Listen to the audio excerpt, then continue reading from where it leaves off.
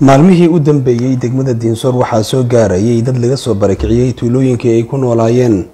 Dadkan qaarkood ayaa la gaarsiiyey dhibaatooyin kala duwan sida in laga gubay guryihii ay deganaayeen iyo in laga laayay xoolahoodii. Xuseen niimaan cabdulaahi warbaahinta dowlad goboleedka koonfur galbeed waxaa laga yaabaa garatay wariyaha hadlaya.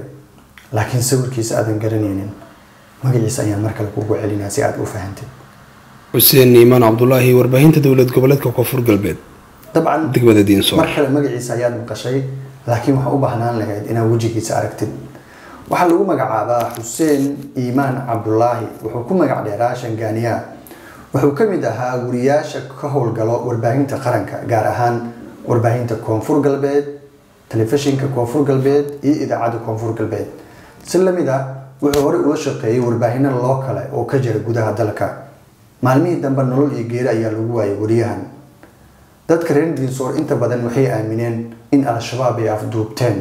Ninkan iyo saraakiil ka tirsan ciidamada dowladda oo iyaga qudhooda nolol iyo geeri lagu waayay.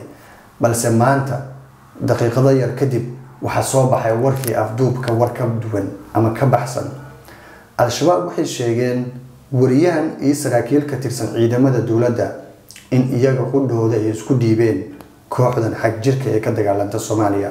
Kadibna ay soo bandhigeen iyaga oo mar kale shahaadada u qabanaya sida warbaahintooda ay ku qoreen.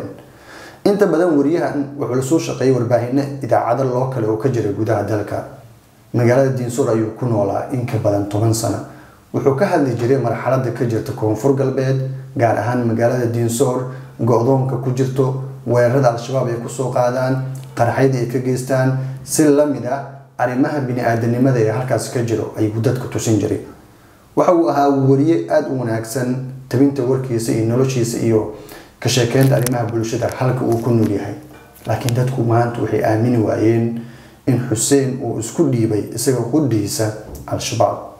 Al-shabaabkii ugaarsanayay ayuu isku dhiibay taas oo mar kale dadka calaama su'aal halkaas ka dhex dhigto su'aale ay isweydiinayaan shabaab qudhooda waxay sheegeen saraakiil ka tirsan ciidamada dowladda gaar ahaan ciidamadii koonfur galbeed inay isku dhiibeen weliba saraakiil ayay soo bandhigeen sida iyagu ay sheegeen.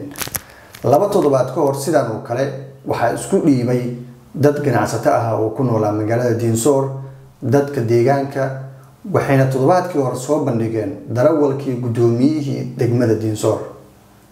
Maalmo yar kadibna waxay soo bandhigeen xuseen oo ahaa wariye iyo saraakiil ka tirsan ciidamada dowladda.